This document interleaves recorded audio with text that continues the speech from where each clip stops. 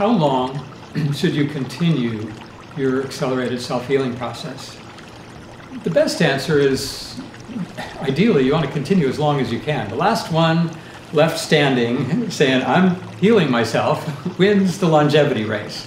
And we know from longevity research that the longer you live, the healthier, healthier you will tend to be throughout your life, the less years you'll have of suffering.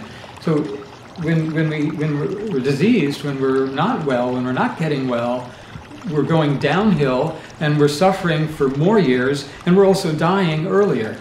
If we can reverse that process, reverse aging, the causes of aging, of, of, of uh, oxidation of our tissues and deposition of sugars on our body tissues and, and closing up of our blood vessels and all these changes that we associate with aging but aren't they can't logically be attributed to age as a cause that's like saying time causes which is equivalent in, in uh, you know in Einstein's view of, of the cosmos that's like saying space causes well causality the concept of causality is, is more specific than that. There is a cause. And that's why we can, we can reverse what we call aging. We can't make the earth go the opposite direction around the sun. And even if we could, that wouldn't make us healthier. The point is that there's specific causes. We need to identify those.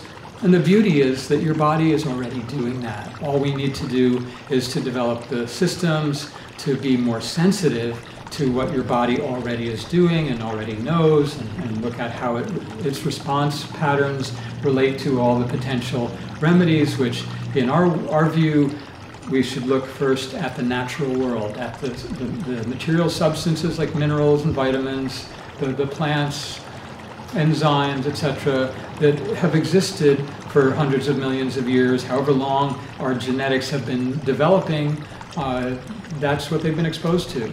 Anything that's new and synthetic and patented is essentially something that our body is not possibly theoretically adapted to.